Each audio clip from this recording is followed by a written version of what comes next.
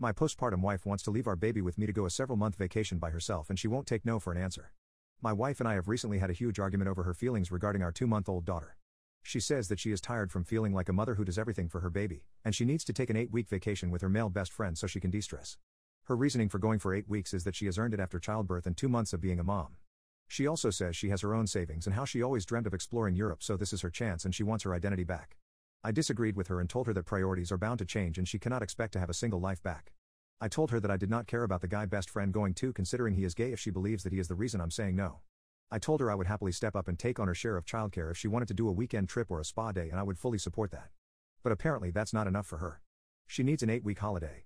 I told her if she wants to really do something about her savings, it would be great if we could do something maybe as a couple or a family together because, by her logic, I also deserve a break just as much as she does. I told her how selfish she is for choosing to spend her savings entirely on herself when I nearly exhausted all my personal savings on a large family expense.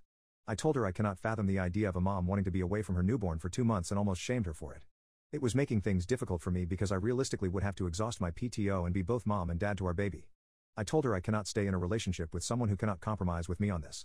She started crying and told me she wants to feel like herself again, and I told her she definitely can do something this weekend as well, but her propositions are highly unrealistic. She asked me if she could spontaneously travel to Africa and climb Kilimanjaro over the weekend to get in touch with nature.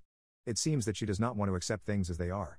I suggested maybe she could get therapy and got told I won't accept the unacceptable and how I was condescending her into therapy.